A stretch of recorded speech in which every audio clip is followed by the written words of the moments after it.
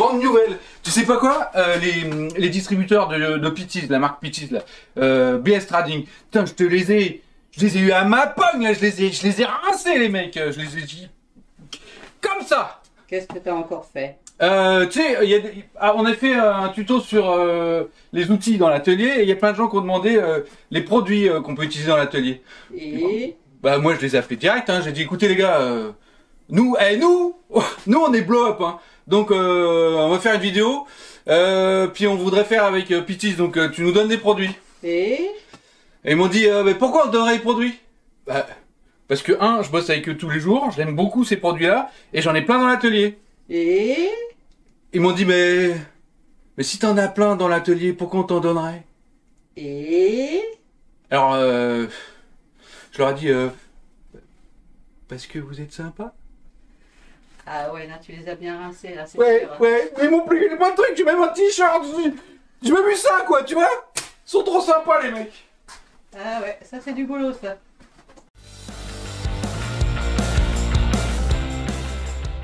Effectivement, euh, c'est une vidéo qu'on nous a demandé, elle va être plutôt rapide celle-ci. Euh, pour euh, ton atelier, il faut pas que les outils, hein, forcément, il faut aussi un paquet de produits pour, euh, bah, pour résumer, pour nettoyer, pour dégraisser et pour graisser. Cette vidéo, elle est en partenariat avec Pitties, mais comme d'hab, comme tous nos partenariats, euh, t'es libre. Hein. Nous, on travaille avec ça parce que leurs produits sont plutôt de bonne qualité, je les apprécie beaucoup. Euh, Il y a une démarche éco-responsable ce qui réduit un peu leur efficacité, certes, mais à un moment, euh, il y a un compromis qu'il faut faire. hein, euh, si tu veux quelque chose de biodégradable, en général, euh, c'est un peu moins efficace que le pas biodégradable. À vous de voir, vous êtes libre, vous êtes grand, vous faites ce que vous voulez. Euh, nous, elle sert de support. Voilà, c'est le produit qu'on utilise. Quoi qu'il arrive, il faudra que vous ayez l'équivalent dans l'atelier. Voilà, en- c'est d'une marque ou d'une autre. T'es libre. Que tu sois bricoleur ou pas, enfin, même si t'es pas bricoleur, il y a l'ultra, ultra, ultra minimum à faire sur son vélo. Euh, c'est le nettoyer, qu'il soit propre, dégraisser, surtout la transmission. À la limite, euh, ton cadre, il peut être crado, euh, on s'en fout. Le mien, il est pas crado, hein, parce que je m'en fous pas. Mais tu peux, il peut être crado ton cadre, mais euh, la transmission, elle doit être euh, parfaite. Voilà. Euh, donc ça, il vous faut quelque chose pour nettoyer, pour dégraisser, et puis pour graisser la chaîne. Nous, on a un poste de travail dehors. C'est quoi, on y va? Eh, attends Je vais te faire un méga, méga effet spécial. Le vélo, il est là. On va arriver. Il va être là-bas. T'as vu Ils m'ont aussi filé un sweat. Et il est doudou en plus, celui-là. Yuna, il y a un doudou, viens. Regarde, t'as vu le vélo Magique, hein Euh, donc nous, on a un poste euh, spécial pour laver euh, les vélos. On l'a construit il y a un an. Il y a une vidéo à faire là-dessus, mais c'est pas le, c'est pas le sujet. Il- on a quelques brosses, voilà. Il faut quelques brosses, ça c'est sûr. Balai à chiottes, ça va très bien. Enfin, tout ce qui, qui brosse quoi. Euh, ça, tu vois, on l'a à poste. Il te faut un, bon nettoyant. L'équivalent du liquide vaisselle, assez dosé quand même. Ça, il te faut un bon nettoyant, c'est sûr. Dès le départ, on fait ça. Euh, oui, il te faut de l'eau aussi. Attends, quand même, nous, on rigole pas. hein. C'est l'eau. C'est l'eau de pluie qu'on utilise. hein. Euh, l'eau. Euh, donc, un, un produit nettoyant, ça c'est sûr. Celui-là, je l'utilise de temps en temps. Euh, avec les clients, quand on a euh, des vélos très très crades. Là, c'est un gros dégraissant, ça marche bien. Il y a mieux, c'est vrai, mais du coup, c'est pas biodégradable. Celui-là, c'est un bon compromis, on l'aime bien, il fonctionne bien. Euh, donc ça, il faut ça, du liquide vaisselle, comme je dis, ça marche très bien. Les différentes huiles. Nous, on fonctionne à la cire. Là, j'en suis fan. Ils l'ont fait aussi en version humide que j'ai pas encore testé et une version une condition mixte aussi que je dois avoir là et que j'ai pas encore testé non plus. Si tu es sur de l'huile, il n'y a pas moyen, il t'en faut euh, pour conditions euh, sèches, pour conditions humides. Donc il faut que tu en aies plusieurs. Ah alors pour et ça je l'ai pas encore utilisé parce que je l'utilise pas de manière générale.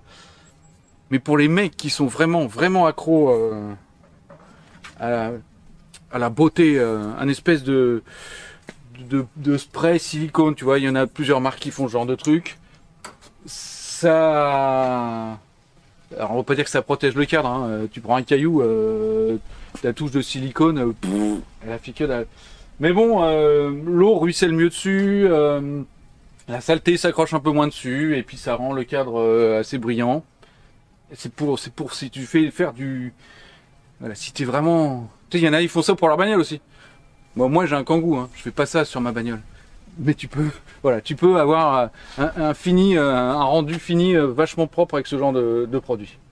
Donc la base, l'ultra, l'ultra base, il faut que tu puisses nettoyer ton vélo et surtout nettoyer ta chaîne et l'entretenir et l'agresser. Donc pour ça, un stock de brosses.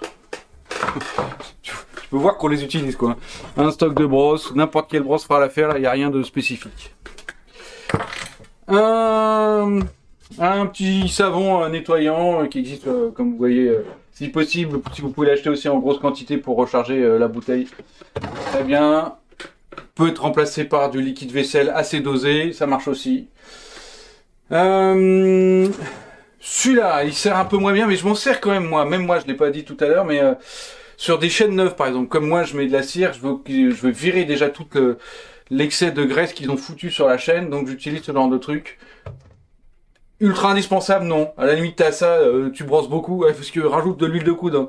Rajoute de l'huile de coude quand même dans l'histoire. Mais euh, ça, voilà, c'est quand même vachement pratique. Après, euh, pour que ta chaîne soit fonctionnelle, et je vous le redis, hein, non, je vous pas, je vous le redis, je vous le dis tout court. Euh, Il y a des gens là, ils se, ils se, ils se euh, pour gagner un kilo sur leur vélo, machin truc. Tu sais que j'ai lu des études qui montraient qu'avec un kilo, globalement, tu gagnais 1% de temps, 1% d'énergie.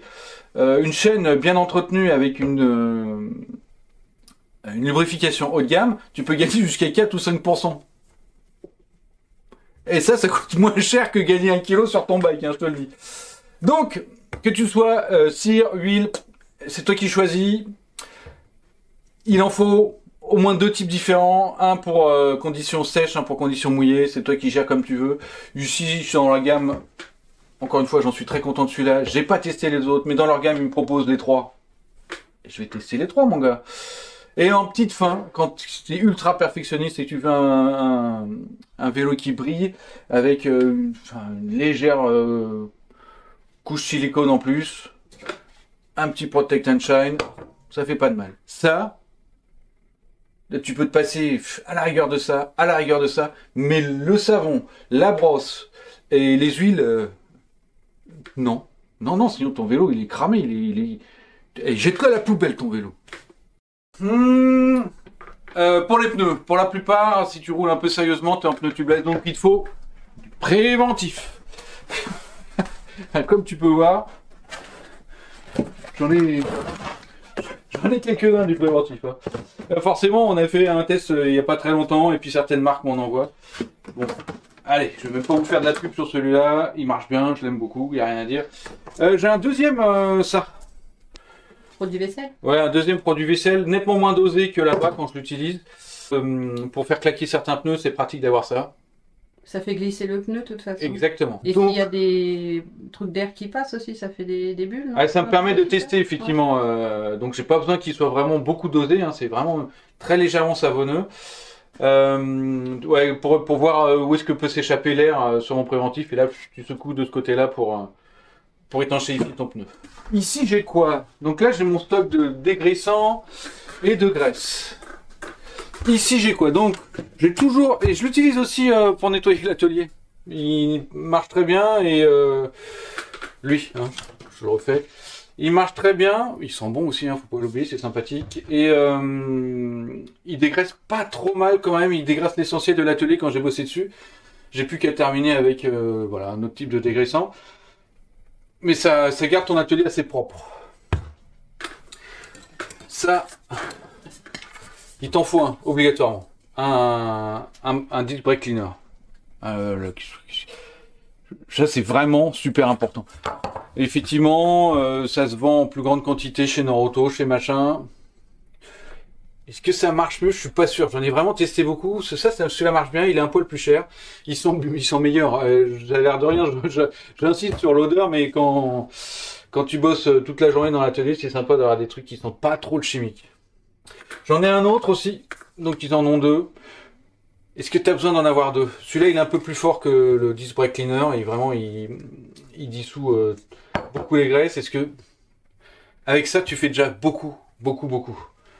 Tu as besoin d'en avoir deux? Je suis pas sûr. J'en ai parce que c'est mon staff. Hein. Euh, ah oui, ça. Ou l'équivalent. Super important. Euh, je passe ma vie à vous dire gna gna gna gna gna gna le WD40, euh, nanani nanana, tu mets pas ça sur ta chaîne. Non, non, mets pas ça sur ta chaîne. C'est sûr. Ça c'est l'équivalent euh, d'un WD40. C'est donc un produit polyvalent qui fait à la fois dégrippant, qui empêche trop les les parties métalliques entre elles de se de se souder, qui crée une légère lubrification effectivement et une légère étanchéité. Donc ça, ça sert effectivement en termes de dégrippement. Il t'en faut un. Euh, parfois, j'en ai un plus balèze. Je l'ai pas ici, euh, euh, qui fait du froid en plus. Vraiment un bon dégrippant quand tu es dans un atelier, ça sert, ça sert. ça, tu peux t'en servir. Tu peux t'en servir typiquement dans le genre de d'utilisation. Tu changes ton câble, t'as tes gaines, tu le capot,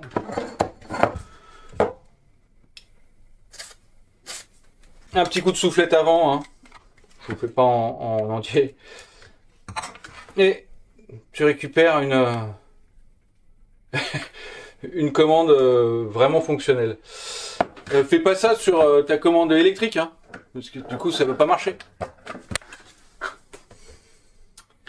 C'est pas ce que j'ai acheté en premier quand j'ai débuté, mais c'est quand même assez important dès que tu commences à bricoler sur sur tes sur sur des roulements, sur tes vis, sur des, euh, points de pivot, euh, il te faut un, frein filet.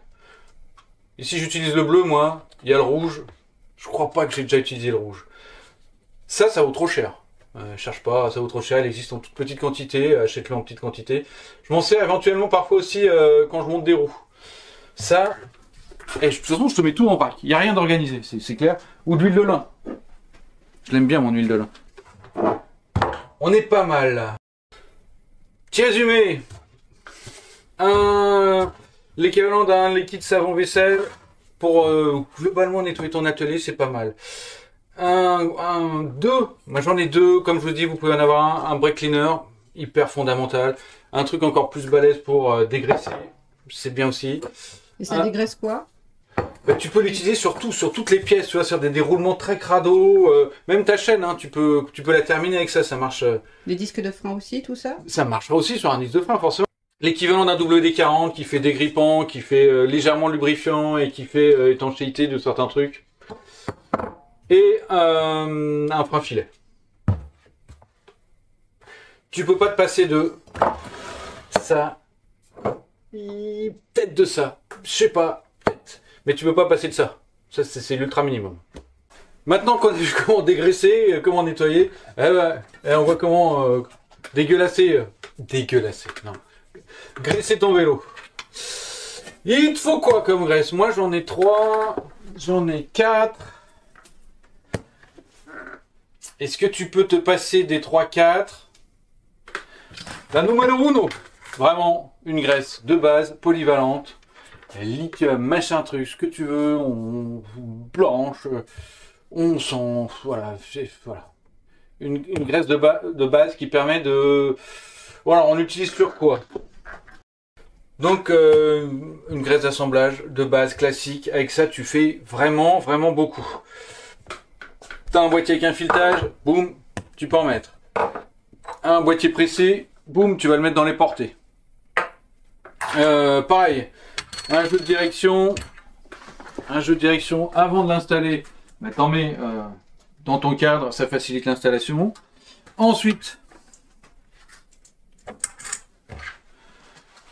t'en mets à l'intérieur pour que ce soit nickel aussi. T'en mets au-dessus. Enfin voilà, là tu peux vraiment utiliser la graisse d'assemblage sur tout genre de trucs. Euh, sur certains, sur certaines vis aussi, il faut pas hésiter à en mettre. Hein. Et là, il n'y en avait pas et ça glissait déjà. Donc évidemment, euh, parfois c'est l'inverse. Hein. Euh, on vous demandera de mettre du frein filet sur les vis. ne cours pas, mais pas de la graisse à la place. Mais sur certaines, euh, sur certains, il faut graisser. Donc t'en as qu'une, polyvalente, très bien, tu fais tout, choisis-la plutôt haut de gamme. Si tu peux la mettre dans ces genres de pistolets, c'est très très pratique. Tu passes un cran, tu veux vraiment des trucs un peu pointus, et là tu peux prendre une, euh, une graisse spéciale roulement. Tac. Toi, typiquement sur ce genre de roulement, si tu veux augmenter euh, leur durée et leur vitesse de rotation, tu nettoies. Tiens.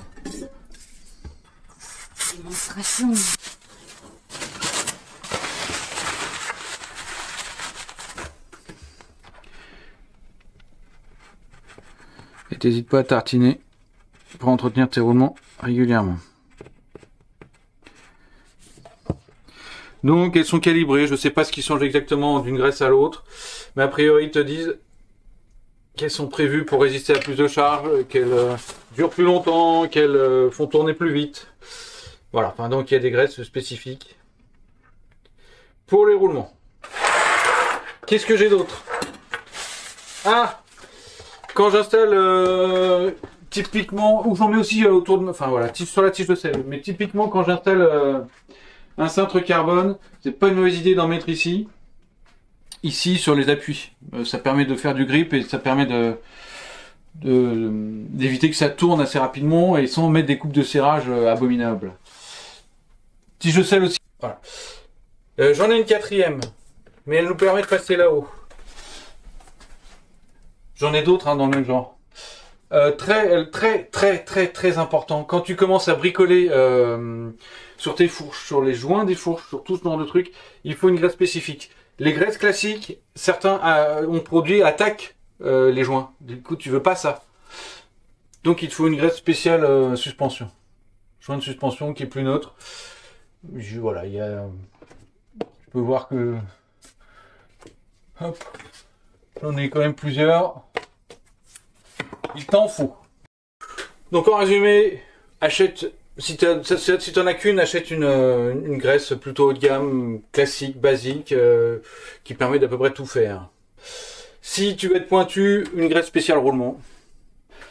Ça, dès que tu commences à monter ton vélo, t'en as besoin, et surtout si tu as des pièces en carbone. hein. Là, c'est la graisse qui crée de la friction. c'est une anti-size, on c'est pas anti-size, euh, donc tu peux la trouver. Ouais, ouais, graisse qui crée de la friction, ça paraît bizarre, mais c'est comme ça. Et après, quand tu commences à être un peu pointu, euh, une graisse euh, suspension, pour les joints de suspension.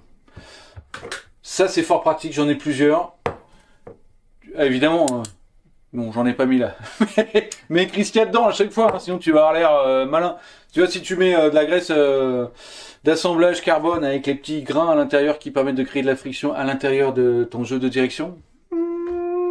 Ça va faire. Exactement. Avant de passer aux huiles quand même, parce que tout ça c'est pas super anodin. C'est pas un produit. Tes lunettes. Des gants de protection. Je sais, j'oublie souvent de les mettre. C'est pas, pas génial, mais, mais bon. Eh, bah du coup, euh, je me lave très, très, très, très souvent les mains. Indispensable. Quand tu commences à faire de, la mécanique, tu auras les mains crado, même si tu utilises des gants. Enfin voilà. Ça, c'est pas sponsor, t'as vu ce machin. Euh, N'importe quel savon avec des microbilles, ça marche très très très bien. La pâte armage, ce genre de truc, il faut que t'aies ça. Elle aussi, elle aime bien le sweet peas. C'est tout bon Euh, tant que j'y suis aussi, j'achète un euh, de base euh, qu'on peut utiliser en grande quantité, qui est pas blanc, euh, qui coûte le moins cher, c'est parfait. Et j'en ai un euh, que j'utilise de temps en temps, euh, blanc, euh, voilà donc. Euh, notamment, tu sais, quand tu fais euh, les disques de frein, que tu, euh, tu passes ton brake cleaner, euh, que tu nettoies, avec euh, la couleur, on voit pas toujours tout ce qu'on enlève. Et quand tu veux tout enlever, il faut du blanc. Voilà. Donc, dans certains cas où j'ai besoin de vraiment voir ce que j'enlève, j'utilise le blanc. On est sur les huiles. Eh, T'as pas besoin de tout ça, en général. hein. Tout ça, c'est des huiles euh, de suspension. Donc, j'ai du, voilà, j'ai du 3W jusqu'au 20W. Donc, c'est euh, la viscosité du truc. Euh, j'ai, euh, pour ceux qui ont des, euh, des réverbes avec une commande hydraulique, on a besoin de ça. On a besoin d'huile spécifique suspension. Tout ça, voilà, c'est là-dedans. Donc ça, tu prends celui qui correspond à ta suspate, quoi. Hein. T'as pas besoin de tout ça, hein, forcément. Qu'est-ce que j'ai d'autre? La dot ici pour, pour les freins dot. Euh, les huiles minérales, Shimano, Magura, nanani, nanana, nanana. Voilà, donc toi, tu as besoin de celle qui correspond à ton frein, et à ta fourche, et à ton amorto. Si t'as pas d'amorto, et après la fourche, bah, tu prends ce qui te va, et le frein, tu prends ce qui te va. On est pas mal là. Hein. Ouais. Qu'est-ce qui manque euh, dans l'atelier? Est-ce que qui sert beaucoup que tu as besoin? Peut-être, regarde. Attends, on va tourner, regarde ici t'en auras forcément besoin, même dans ton sac à dos, des zips qui traînent. Qu'est-ce que j'ai d'autre encore? Ah ouais, alors ici, histoire de... Même dans ton atelier perso, hein, euh, ou dans ta vie tous les jours, on essaye d'être un peu éco-responsable. Euh, j'ai trois bikes, euh, donc un recyclable, un spécial métal qu'il faut que j'aille porter à la déchetterie parce que ça se recycle, le métal. Euh, petite info au passage comme ça, hein. par exemple, je crois que 75 à 80% de tout l'aluminium qui a été extrait depuis l'ère euh, industrielle est encore en circulation. Donc l'aluminium, ça se recycle, ça rase, hein. Ça marche bien. Un petit dernier, mais là, fou. Un petit bac à l'huile quand même, hein, pour réceptionner toute l'huile usagée qui elle aussi part au recyclage. Oui, ça se met pas dans l'évier quoi. Non, évite. on a tout dit là. Ouais. Fin de la vidéo. Ouais. Merci à BS Trading, euh, le distributeur de Pitties, euh, de nous avoir filé du matos, en plus de celui qu'on utilise déjà. Tu sais, le mec, j'ai eu quand même un super argument quand même. Eh, tu sais quoi, euh, je vais faire une vidéo, donne-moi ton matos parce que je l'ai déjà. Waouh Le mec qui réfléchit longtemps avant de... Eh, je suis un commercial, moi je rigole pas du tout, moi. Enfin bon. du coup, ils nous ont filé ça en plus, des garde-boue. Eh, je me suis dit, si au moins t'as pas tous les produits, que tu puisses moins dégueulasser ton vélo, ça peut être pas mal. Des garde-boue, et celui-là, je suis tellement fan que j'ai fait le garder pour moi. Non, joue, joue, joue. Voilà, donc, euh, on, vous le fait, on vous les fait gagner. On va faire un petit concours sur Insta. Vous suivez. Je ne sais pas comment ça va se passer. J'en ai jamais fait. Donc, euh, je vais inventer. On demander à Bobot. faire Bobot. Probablement. Euh, donc, euh, à suivre là-dessus. J'espère donc encore une fois que cette vidéo vous convient. On n'oublie pas de s'abonner, s'il te plaît, abonne-toi. vous commentez, vous likez, vous faites tout ce que vous voulez. Et puis sur ce, salut les amigos Namaste.